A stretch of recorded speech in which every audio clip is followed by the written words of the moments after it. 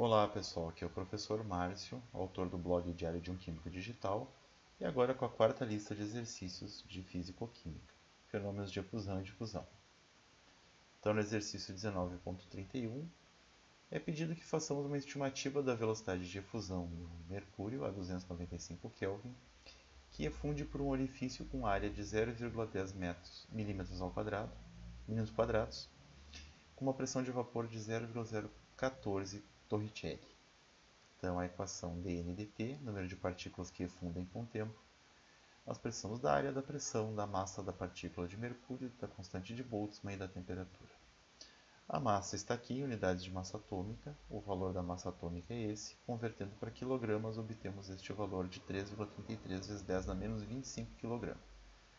A pressão de 1,4 vezes 10 na menos 3 Torricelli é convertida para Pascal e dá um valor de 0,1866 Pascal.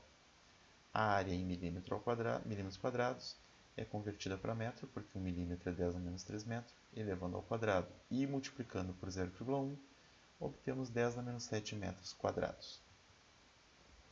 Substituindo os valores na equação, nós obtemos o valor numérico de 2,021 vezes 10 na 14.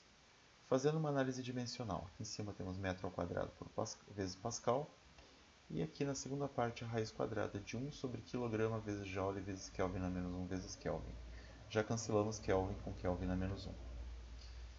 Então ficamos com metro ao quadrado, Pascal passamos para Newton por metro ao quadrado, Joule nós passamos para Newton vezes metro,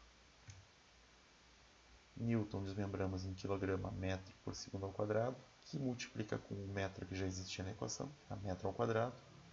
Quilograma que já existia multiplica o quilograma que está presente no Newton, e ficamos com quilograma ao quadrado por metro ao quadrado no denominador dentro da raiz, e segundo na menos 2 passa para o numerador. O metro quadrado inicial do problema e o metro ao quadrado do Pascal se cancelam, ficamos apenas com Newton vezes a raiz de segundo ao quadrado, quilograma ao quadrado, metro ao quadrado. Isso retorna um valor de Newton, segundo vezes segundo dividido por quilograma vezes metro. Nós desmembramos o Newton em quilograma metro por segundo ao quadrado. O quilograma do numerador cancela o quilograma do denominador.